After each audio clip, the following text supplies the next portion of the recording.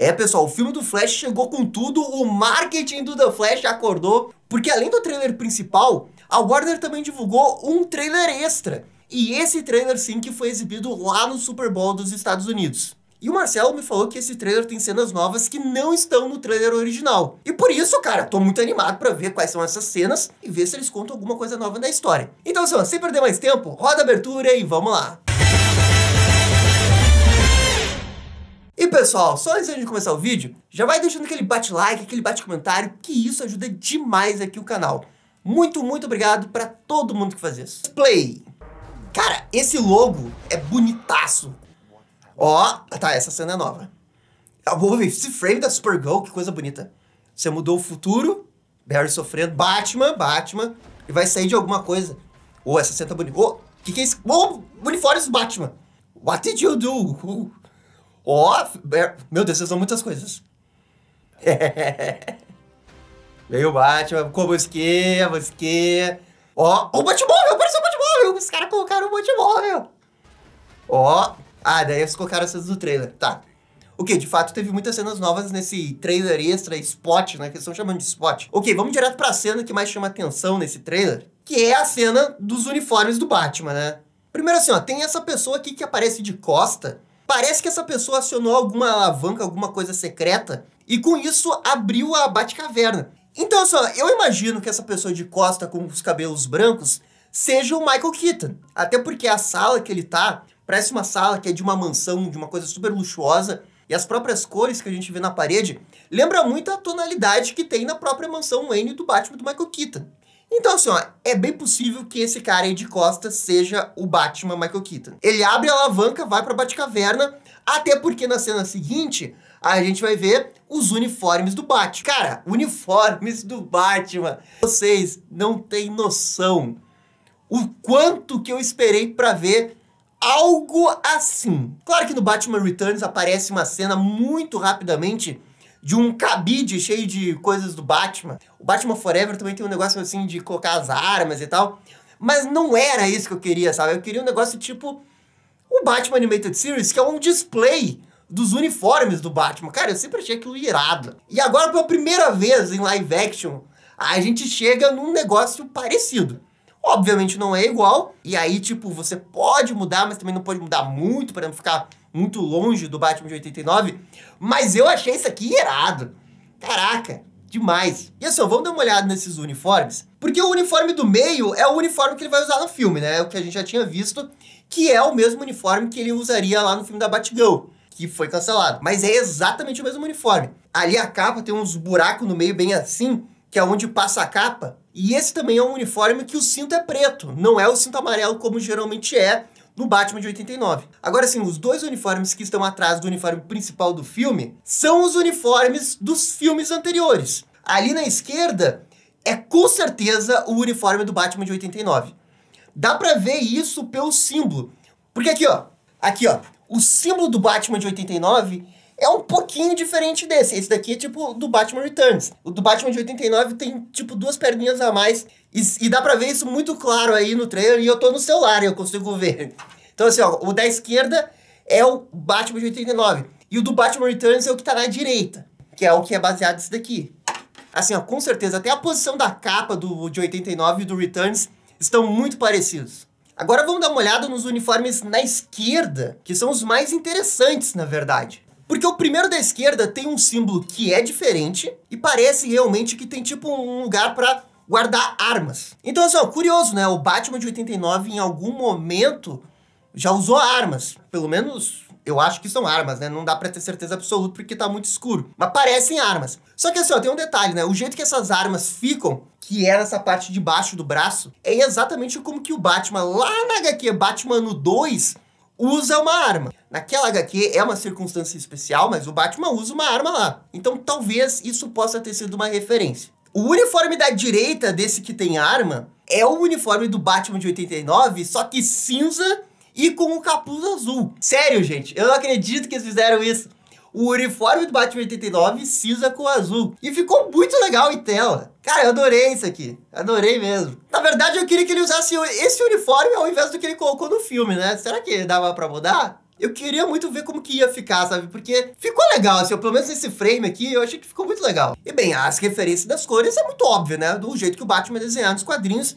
que tradicionalmente sempre foi azul com cinza. Agora vamos olhar os uniformes da direita, que são os dois uniformes mais bonequinhos. Porque vai dizer que não parece bonequinhos do Batman, né? Aqueles da coleção da Kenner, o Batman debaixo d'água e o Batman do deserto. Pelo menos é o que parece. Num primeiro momento, a primeira coisa que eu olhei é aquela armadura que o Batman usa lá no Reino da Manhã. Até que lembra um pouco, mas a verdade é que é diferente. Porque tem uma coisa na boca nessa armadura parecem ser tanques de oxigênio, que me leva a crer que esse é um uniforme que o Batman usa, né, em missões subaquáticas, caso ele precise. E de uma forma geral, eu não consigo pensar muito numa referência desse uniforme. E assim, ó, talvez eu esteja indo muito longe na referência, mas muito longe eu acho. Mas na coleção da Kenner do Batman Returns, tem uma figura que se chamava Batman Deep Dive. É o Batman mergulhador. E se você olhar pro jeito que tá o uniforme, lembra um pouco, principalmente ali a parte da máscara. Então eu não sei, talvez eles tenham olhado, tipo, os bonecos do Batman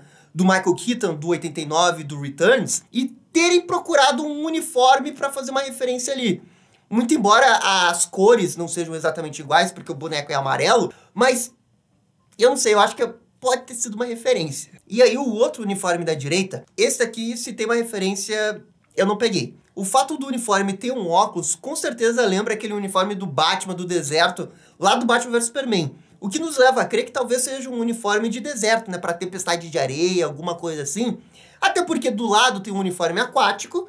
Faz sentido do lado desse uniforme ter um uniforme tipo para calor, para deserto, alguma coisa assim. Até porque esse é um uniforme que tem o capuz e tem o, o sobrecapuz. É inacreditável, mas tem. Né? Então ele poderia, tipo, usar isso numa tempestade de areia também. Mas esse daqui eu até procurei algum boneco aqui rapidamente na internet, mas esse daqui, no caso, eu não achei uma referência clara. Enfim, ver todos esses uniformes desse jeito, ah, ficou demais, eu adorei essa referência. Sabe o que, que seria legal? Eles mostrarem essa mesma cena espelhada antes deles mudarem a realidade e mostrar os uniformes do Batman Ben Affleck, exatamente desse jeito. E depois que a gente chegar nessa terra aí, que tô chamando de Flashpoint, mostrar os uniformes do Batman Michael Keaton, pra espelhar esses uniformes. Cara, seria, seria uma boa ideia, hein? Eu queria ver isso. Porque assim, ó, o Batman Ben Affleck, ele tem uniforme suficiente para fazer um hall de 5, 6 uniformes como o Batman do Michael Keaton aí. Pô, isso seria legal. Eu iria gostar muito dessa ideia aí. Mas provavelmente não vai acontecer isso. E agora sim, vamos olhar para as outras cenas do spot, que tem algumas aqui que não estão no trailer original que eu comentei. A primeira cena, por exemplo, não estava no trailer original. Essa cena a gente já tinha visto num vídeo que a Warner divulgou, que dava para ver os lançamentos que seriam do ano passado, que o Flash estava incluso, e depois eles mudaram tudo. Essa cena aqui, com certeza, é no início do filme. É quando o Flash vai trabalhar junto com o Batman, quando vai ter essa cena aí envolvendo os bebês que vão cair do hospital. É uma coisa que está intimamente ligada. A gente vai ver Batman e Flash trabalhando juntos. Como a gente sabe, originalmente, em algum momento no início do filme, iria aparecer a Mulher Maravilha e o Superman. E a gente achava que seria nessa cena aqui que a gente veria não só o Batman e o Flash trabalhando juntos, mas toda a Liga da Justiça. Agora, como tem essas informações que a Mulher Maravilha e o Superman foram cortados do filme, isso é, a princípio, porque ainda não tem como ter certeza. Algumas pessoas até dizem que eles podem estar ainda no início do filme. Pelo menos a Mulher Maravilha. Porque o Superman, né, o Henry Cavill falou que não iria mais aparecer, né? Então, assim, ó, pelo jeito vai ficar só o Batman e o Flash aqui. Mas se aparecer a Mulher Maravilha, não se surpreendam. E a outra coisa é que tem esse take rápido do símbolo do Flash bem de perto. Que símbolo maravilhoso. Nossa, cara, eu amei esse símbolo, assim, que vem uma luz por trás e ele deixa ele iluminado, como se fosse um farol, uma lanterna, alguma coisa. Ficou lindo, ficou simplesmente lindo esse símbolo. Aliás, junto com as botas, são as duas melhores coisas desse uniforme do Flash. Então, na sequência, a gente tem algumas cenas que estão no trailer, que é essa aqui do Flash correndo no meio da cidade da noite. A princípio, isso aqui é logo antes do Flash chegar na casa da mãe dele. Aí depois a gente vê aquela máquina lá que aparece no Homem de Aço. E aqui sim, take novo do Flash olhando para alguma coisa para cima. Ok, teoria. O que eu acho que tá acontecendo? Isso aqui é bem no final do filme. Porque a gente tem esse alaranjado, que é o mesmo alaranjado de quando o Barry tá correndo muito rapidamente com a câmera seguindo no trailer original. E na minha opinião, essa cena é no final do filme. Quando talvez toda essa terra aí esteja se desfazendo, acontecendo alguma coisa nessa terra, e o Flash vai começar a correr na força da aceleração talvez até para desfazer o que ele fez. E eu acredito que essas cenas estejam interconectadas. A outra cena nova é essa daqui da Supergirl encarando o Zod. E de novo, né, esse uniforme maravilhoso da Supergirl nesse filme tá simplesmente perfeito, perfeito esse uniforme. Mas assim, é importante também ver o contexto da cena lá atrás, que a gente vai ver que tá tipo acontecendo uma guerra, que provavelmente ali é o exército dos Estados Unidos contra né, as forças do Zod. O que, de novo, reforça né, que essa batalha aí com o Zod não vai acontecer na cidade. Na minha opinião, essa cena está conectada com uma outra cena da Supergirl, que ela fala, o que você fez? Daí ela usa uma visão de calor provavelmente diretamente no Zod. Eu acho que é aqui que eles vão se encarar. E fica também muito claro que no final do filme vai acontecer algum tipo de divisão entre os heróis. Os dois Flashes devem enfrentar o Dark Flash e o Batman e a Supergirl devem enfrentar o Zod. E também tem a Faora, né, que tá junto com o Zod. Então, devem ser esses dois. E do outro lado, a Batalha dos Velocistas. O que só por falar Batalha dos Velocistas já deixa empolgado, né? A Batalha dos Velocistas. Uou! Em narração, Batman Michael Keaton vai dizer né, que o Barry mudou o futuro e mudou o passado. E isso daqui talvez seja uma dica né, para dizer que a Terra que ele tá, de fato, seja uma realidade de Flashpoint. Que quer que ele tenha alterado no passado, né, criou essa realidade aí. Como acontece na saga do Flashpoint. Me parece que isso, tipo, tá quase confirmado. Só que o ponto principal é que eu acho que eles não vão saber disso.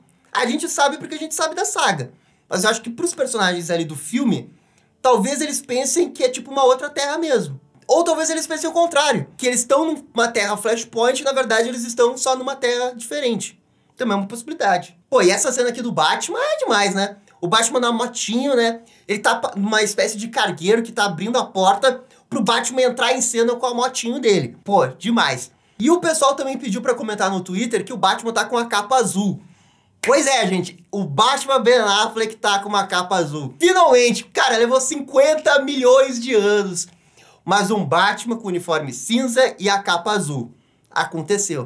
A história lembrará de Ben Affleck como o Batman que teve os melhores uniformes do Batman. Essa é a verdade. E outra coisa é que esse tom de azul ficou bonito mesmo, né? Eu acho que dá para dizer sim que dá para fazer um uniforme do Batman com capa azul. Para mim ficou provado agora. Aqui, ó, esse é o frame que eu falei que em algum momento essa realidade talvez comece a ser desfeita e o Barry tenha que entrar na força da aceleração. Ao ir na animação, o que começa a desfazer a Terra ali é que o Capitão Átomo explode. Tem toda uma subplot lá do Capitão Átomo. E ele que gera a bomba que iria destruir a Terra ali do Flashpoint. E é o que força o Barry, juntamente com o Flash Reverso, a, a querer voltar. Talvez aconteça algo semelhante nessa história, só que sem Capitão Átomo. Por exemplo, a força dos Estados Unidos não está lidando com derrotar o Zod. Então, sei lá, eles decidem jogar uma bomba no Zod lá para matar ele. Talvez aconteça algo tipo isso, sabe? Mas isso é uma especulação minha, até porque nos vazamentos, que são rumores, não tem nada confirmado, não dizia nada disso.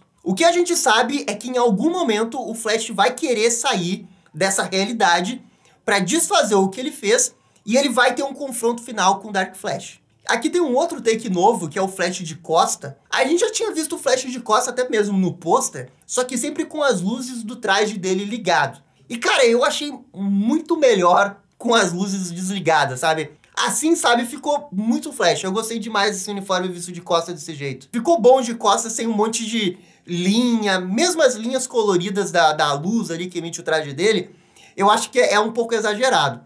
Assim, sem nada, perfeito. E aí tem aquela cena do I Am Batman, que também tinha aparecido no trailer.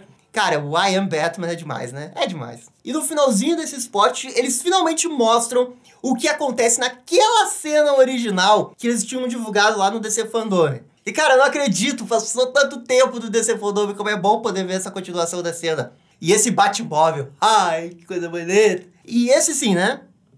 Esse é o Batmóvel definitivo. O Batmóvel que todo mundo ama, o Batmóvel do povo, o Batmóvel que vai ser sempre lembrado. É o melhor Batmóvel de todos os tempos, né? Convenhamos bom demais. E ficou perfeito, né? Exatamente como todo mundo lembra, como tem que ser. Eu quero muito ver a cena do Batmóvel em ação. Cara, eu tô louco pra ver. Porque não teve nenhuma cena, a gente viu bastante o Batwing. Mas e o Batmóvel? Em que momento será que eles vão usar o Batmóvel? Eu imagino que eles vão querer usar o Batmóvel, porque eu espero que eles usem o Batmóvel, né? Não vão fazer todo esse Batmóvel aqui maravilhoso para não usar, né? É bom usar. E aí terminam as cenas. Cara, gostei do marketing. Adorei esse marketing aí, né? Toma trailer, toma spot, tem novas cenas no spot, tem, tamo nem aí. E assim, eu espero que a Warner consiga sustentar esse hype, porque pelo que eu percebi nas redes sociais, o pessoal, né, subiu o hype, começou a acreditar nesse filme. Porque até então eu via que tinha muita desconfiança. Então o trailer foi tão bom que eu, que eu pelo menos comecei a ver é, mudar essa expectativa. O pessoal tá começando a acreditar que esse filme pode ser muito bom. E agora a Warner tem que conseguir manter esse hype. Deixa passar o Shazam e depois do Shazam mete propaganda do Flash. Começa a falar de Batman, começa a falar de Flash.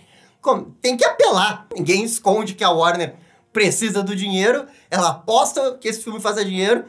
E eu acho que ele tem chance aí de fazer bastante dinheiro. Não um bilhão de dólares. Tomara, eu só acho improvável fazer um bilhão, mas eu acho que ele pode se sair muito bem aí na bilheteria. Com certeza vai ser a melhor bilheteria da DC dentro do DCU dos últimos 3, 4 anos com facilidade. Pelo menos é o que eu espero. Enfim, gente, por favor, comentem aqui embaixo, falem das suas expectativas pro filme do Flash. E no mais, gente, é isso daí. Muito obrigado e dá-lhe DC. Ah, DC, hoje eu dormirei bem. E esse foi o vídeo com o trailer extra de The Flash. E aí, gostaram? Não gostaram? Deixem suas opiniões nos comentários. E se curtiram o vídeo, deixe aquele joinha e inscreva-se no canal para ficar sabendo absolutamente tudo sobre Batman. Obrigado, gente, e até a próxima. Tchau, tchau.